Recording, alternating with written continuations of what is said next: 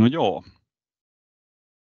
Nyt sitten sitä varsinaisesta opiskelumateriaalista, eli on tehty tällainen itseopiskeluun soveltuva materiaali, jonka opiskelu kestää arviolta noin yhden työpäivän itsenäisesti tehden.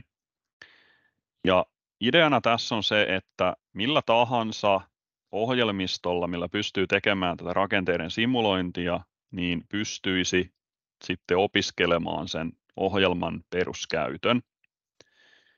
Tämä on täysin tällainen alkeiskurssi, eli ei vaadi mitään esitietovaatimuksia.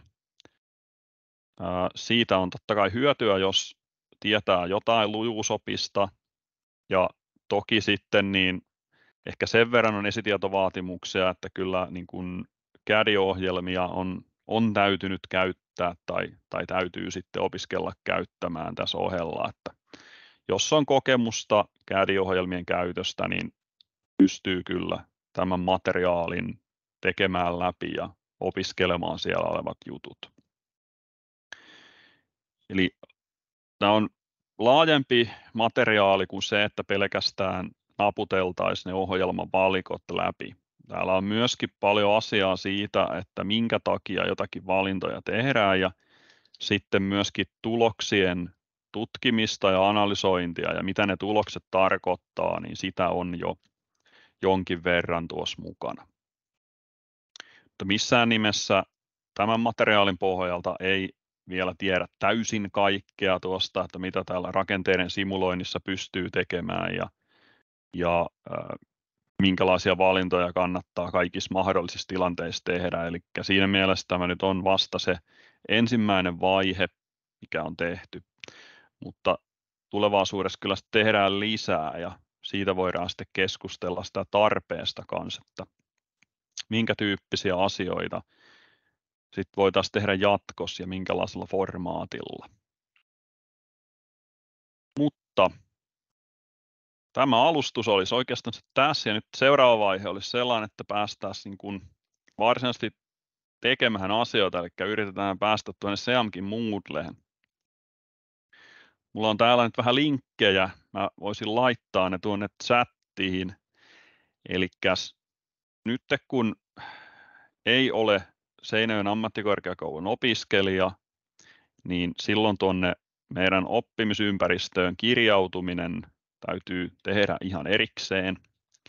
Ja tuota, eli täällä on ohjevideo siitä, että miten kirjaudutaan taas se pois tuosta. Eli miten kirjaudutaan tuonne Seamkin Moodle-ympäristöön. Ja täältäkin, täältä YouTube-linkin takaa löytyy nyt sitten tuo samainen toinen linkki tästä. Eli tällainen kuin jelppari.epedu.fi kautta bla bla bla. Ja sen linkin takaa, se on siis sama, joka on myös täällä ylempänä tuo. Jos nyt avaan sen vielä tuosta. Niin täältä löytyy nyt ohjeet siihen, että miten päästään tuonne Seamkin Moodle oppimisympäristöön sisällä. Ja nyt niin voitte aukaista tämän linkin täältä. Kaikki, jolla se vain on mahdollista ja sen pystyy tehdä tietysti sitten myös jälkikäteen. Eli jos nyt ei ole mahdollista avata tätä heti, niin sen voi tehdä myöhemminkin. Mutta tämä linkki auki ja täältä löytyy nyt sitten tällainen kohta kuin Moodle-kirjautuminen ilman yllä mainittuja tunnuksia. Ja sieltä löytyy sitten kohta, siirrytään selaimella vieraskirjautumisosoitteeseen. Ja tämän kun avaa täältä, niin pitäisi tulla tämän näköinen ruutu. Täällä nyt ei ole sitten näitä käyttäjätunnuksia ja salasanoja valmiina, vaan tulo tämän näköinen ruutu. Se voi tulla englannin kielellä tai se voi tulla suomen kielellä. Ja tämä on nyt sitten SEAMkin tämän Moodle-ympäristön tällainen vieraskirjautumislinkki. Täällä pystyy kirjautua, jos on Googlen tai Facebookin tunnukset, eli vaikka Gmailin sähköpostiosoite, niin sillä pitäisi päästä tänne kirjautumaan suoraan. Jos ei ole, niin sitten mennään tuosta linkistä aloita luomalla uusi käyttäjätunnus. Tämä video täällä nyt sitten, mikä oli YouTubessa tehtynä, niin tässä näytetään ne askeleet, että mitä tässä tulee vastaan ja selitetään läpi, että mitenkä pystyy kirjautua tänne. Ja oikeastaan mä en näe mitään estettä sille, että jos teillä nyt on sitten vaikka joku kollega, joka haluaa myös käydä tuota materiaalia opiskelemassa, niin tätä videota saa jakaa ja ohjeita siihen, että miten tähän päästään sisälle tähän kurssille. Eli täällä näytetään nyt sitten, että mitä tapahtuu sen jälkeen, kun mä painan tuosta aloita luomalla uusi käyttäjätunnus. Täällä se kysyy nyt sitten nämä vaiheet tuolta. Ensin on joku tällainen tietosuoja, seloste, ja kun se hyväksytään, niin sen jälkeen sitten tänne täytellään omat tiedot, valitaan itselle joku käyttäjätunnus ja joku salasana. Ja sitten tuolta sähköpostiosoite laitetaan ja, ja oma nimi ja sitten päästään luomaan uusi käyttäjätunnus.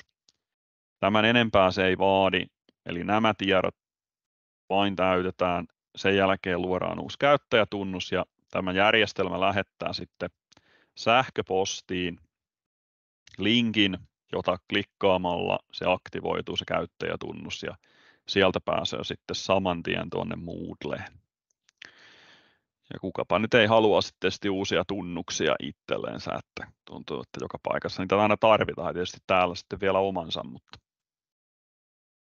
mutta joko sillä Google-tilillä tai sitten tällä tavalla, niin voitaisiin tehdä niin, että saatte kokeilla kirjautua tuonne Moodleen ja sitten sen jälkeen, kun sinne on päässyt, niin etsitään sieltä sitten tuo opetusmateriaali. Ja oikeastaan voisi vaikka pitää tässä kohtaa nyt sellaisen tauon, että mä nyt olen hiljaa ja annan teidän testata näitä linkkejä ja katsotaan, että pääsettekö te tuonne Moodleen sisälle. Ja kysykää, jos tulee jotakin vaikeuksia vastaan siellä, niin koita ratkaista niitä sitten.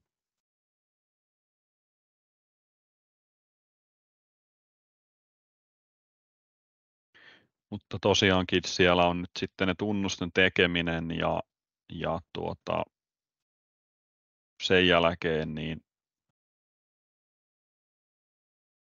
pitää vielä sähköpostista käydä vahvistamassa se, se linkki, että sinne nyt voi sitten laittaa työpaikan sähköpostia tai omaa tai mitä, mitä nyt sitten parhaaksi näkeekään.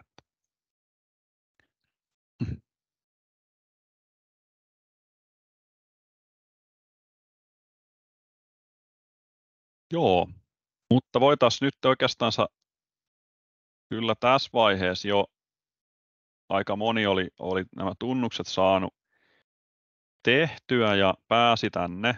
Oletan, että olette päässyt tälle sivulle ja se näyttää aika lailla tältä samalta, mitä se nyt meikäläisellä on. Eli täällä on linkkejä eteenpäin sitten.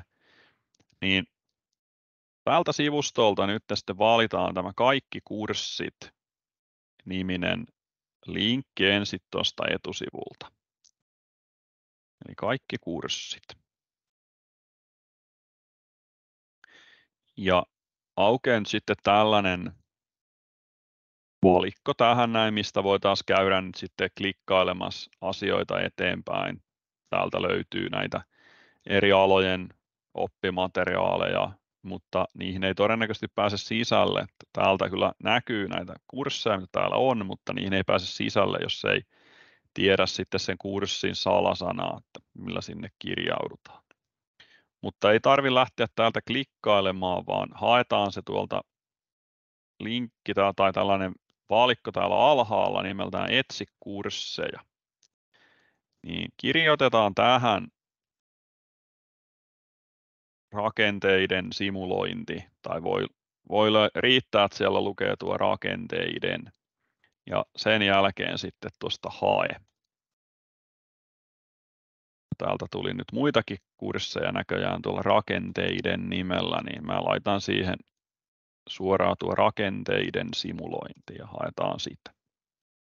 Niin päästään siihen, että täällä on vain yksi kurssi listalla. Eli tämä on seuraava vaihe. Nyt ollaan jo hyvin lähellä.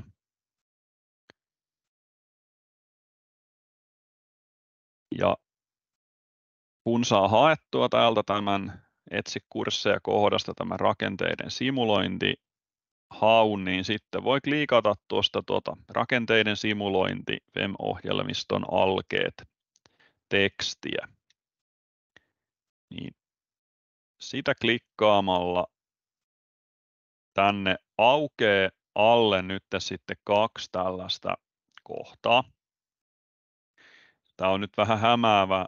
Täällä on niin kuin kaksi mahdollisuutta, että mihin voi kirjautua tavallaan. Täällä on tällainen vierailijalinkki ja sitten alla on tällainen itse rekisteröityminen. Mutta valitaan näistä tämä itse rekisteröityminen kohta. Ja täällä se kysyy sitten kurssiavainta. Se pitäisi olla varmaan tyhjänä teillä siellä alun perin. Eli on tällainen tyhjä kenttä ja tähän syötetään kurssiavain, jonka täältä nyt sitten seuraavaksi teille annan. Eli se on tällainen kuin Raksim 2023 ja isolla ja pienillä kirjaimilla pitäisi olla merkitystä. Laitan sen vielä tuonne chattiin.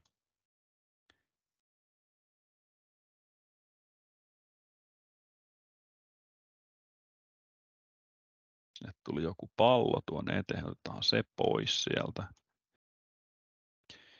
Eli tuostakin pystyy nyt sitten tuolta chatin puolelta kopioimaan tuon Raksim 2023 ja syötellään se tähän itse rekisteröityminen kurssiavain kohtaan tuohon nuon. Mä en pääse vissiin näkemään sitä, että mitä se sinne laittoi, mutta sillä pitäisi päästä. Ja sitten kun se on kirjoitettu siihen, niin sitten painetaan tuosta lisää minut kurssialueen.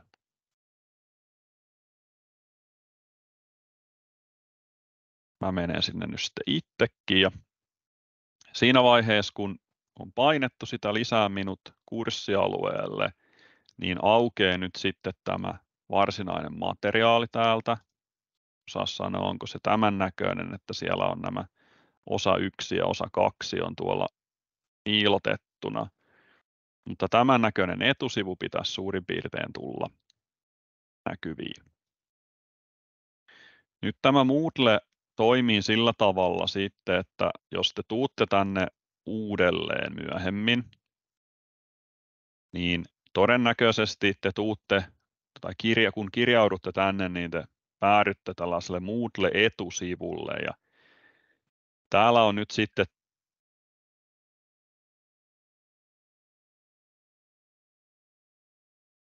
täällä sivun yläreunassa on tällainen talonkuva ja hiiren sen päälle siellä lukee, että oma sivu. Niin tuosta kun klikkaa, niin tämän näköiselle sivulle te tuutte nyt sitten siellä. Mutta nyt kun te olette kerran sinne kirjautunut tuonne kurssille, niin ei tarvita enää tätä kurssisalasanaa. Sekin toki kannattaa ottaa itselle täältä ylös, joka löytyy kyllä toki sieltä kalvosarjastakin, mutta jos vaikka haluaa jollekin kollegalle sitä jakaa, niin tuosta saa, saa tuon linkin tai salasanan otettua sitten itselle ja, ja tota, kun on kerran kirjautunut, niin sitten aina kun tulee tänne Seamkin Moodleen, niin täältä löytyy se kurssi, eli rakenteiden simulointi FEM-ohjelmisto, ja sitä klikkaamalla sitten niin päätyy aina tänne kurssisivulle. Pystyy vaikka jatkamaan sitten siitä, mihinkä on viimeksi jäänyt. Mutta, mutta